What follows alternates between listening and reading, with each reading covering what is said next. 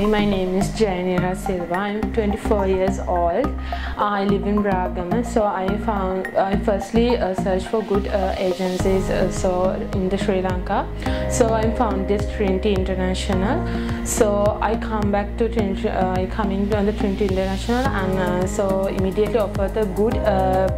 A scholarship in French so I'm got it uh, my visa.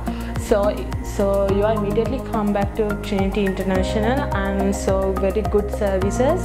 And so you are immediately very friendly services.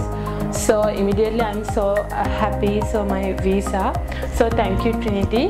Uh, so you are immediately coming and uh, getting the good services in Trinity International. Thank you